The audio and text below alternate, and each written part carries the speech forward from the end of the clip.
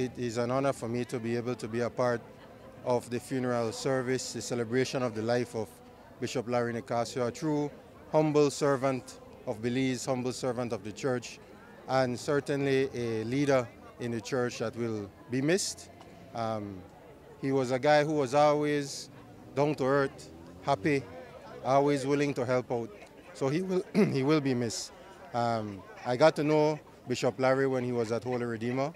Um, before he was a bishop, Father Larry, and we, we became very close. So I was saddened to hear about his passing, but happy to know that he, he had a good life, he was a good man, and we need to pray to him. Um, I was always happy to see Bishop Larry take part in what was happening in the country in terms of putting out statements as the head of the Catholic Church, but also as a member of the Council of Churches.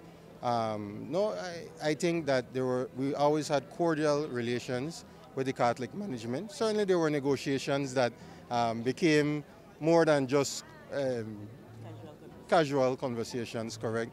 But there was never a situation where we felt that we were clashing heads or in any way was it um, argumentative or, or, or, a way that we felt that we couldn't reach a resolution.